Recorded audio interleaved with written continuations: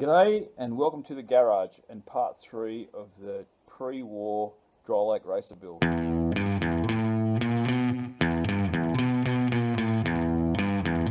So right now really all I've got is a big mess of parts and um, if you've got to do things properly you've got to have a plan.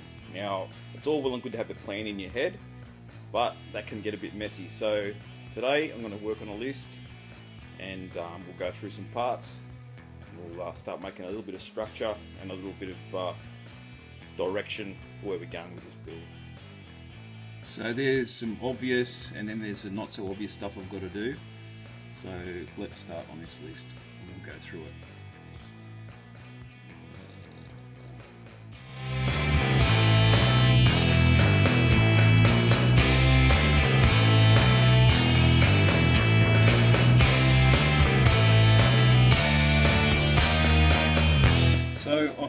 32 axle, which I believe it's 32 and it's slightly dropped.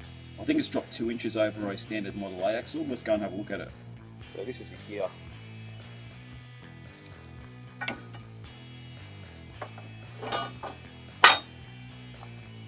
So yeah, um, well there's a Model A axle underneath. So there's your standard Model A. This is your 32. So I've got it. I was going to put it on the coupe, but I'm thinking putting the 4 inch in the coupe. So I might as well use this on this build. Why not?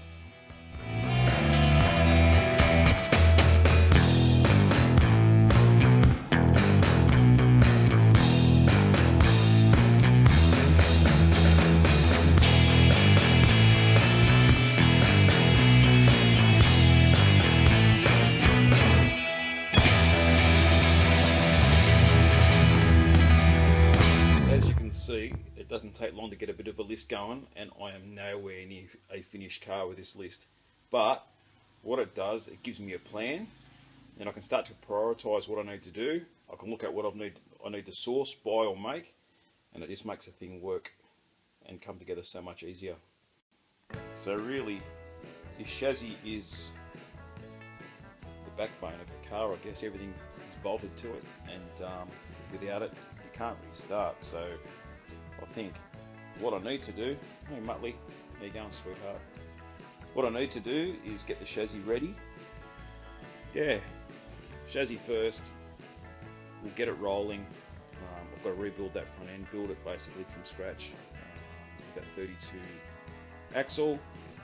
Um, know, with the diff, this is a good working diff, but when you put hydraulic brakes on these things, you've got to cut off the, um,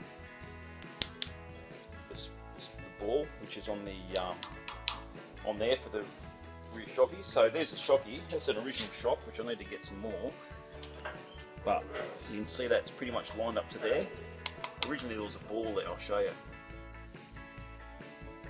So here's an old diff um, axle tube, and you can see it's got the ball on there. So I'll have to clean this up and I'll fit it.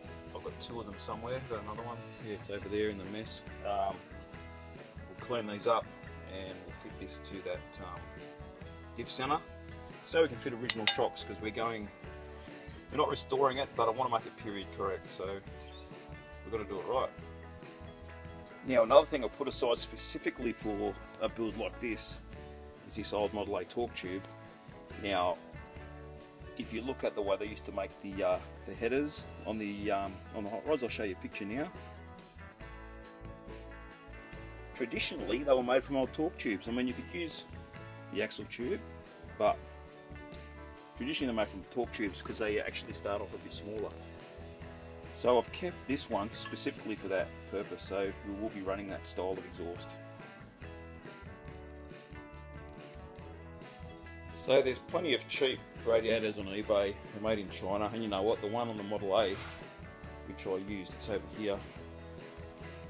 This done well for about three years, but it eventually broke apart, and um, because it's all aluminium, it's not going to last forever.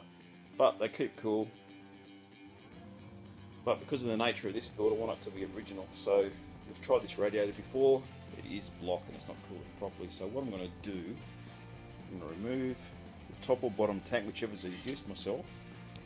I'm going to clear out all the tubes, keep this original core, and um, I'll take it to a local radiator repair place and just ask them to put the tank back on. Hopefully it won't cost too much money. Another job I've got to do is repair this firewall. Um, someone's cut it out and a lot of people do that to fit the V8. So that's no biggie. I have a couple of options. I can repair it, which I did on the 30 back in the day, or I can pinch it from the coupe, which um, has a reasonably good firewall. It does need some repairs as well, but it's not been cut away like this one.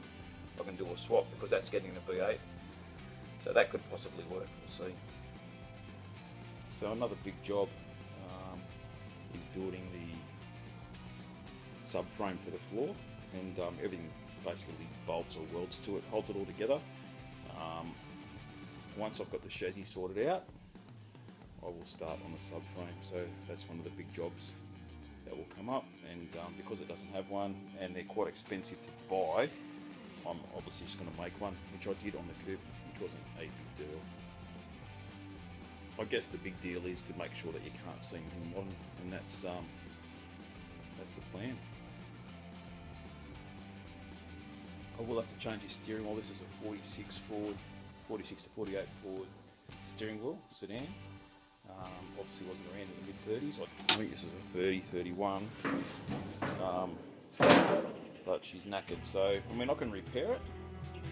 But if I can find one that's a little bit better, I will. So steering wheel, I need to put that on the list. So this list is dynamic, it changes all the time and um, like I said in my opinion it works, it gives you a structure and a plan to go to, it shows you what you need to buy exactly. So let me show you how I do that. So what do I need to buy? I need to I need a rear spring, which I might have one lined up, but I need to get one, so I just put a little asterisk next to that. Front spring, I've got one, but I still need one. Um, little spacers, I've got to make two of those, so that's got to be sourced. Um, intake exhaust manifold, so a flange plate for the intake. Um, steering column bracket, I've got to buy.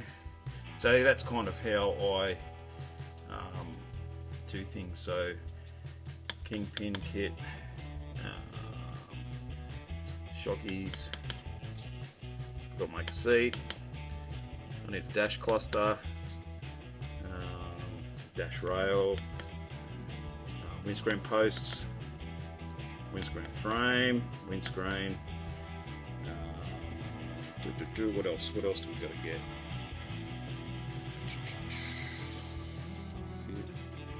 So yeah. So that's it from me. A short but sweet, but an important part of the build. Very important part of the build because you're referring to it the whole time worthwhile of an episode, I'd say. So, yeah, we'll get into it. Hey, Muttley, how you going, mate? Doing? Anyway, that's it from me. Stay tuned with Good Your Mates. Like, subscribe, all that stuff. I hope you're enjoying this as much as I am. Good times. See ya. What do you reckon? What do you reckon? Hey? What do you reckon, mate? Huh? What do you reckon?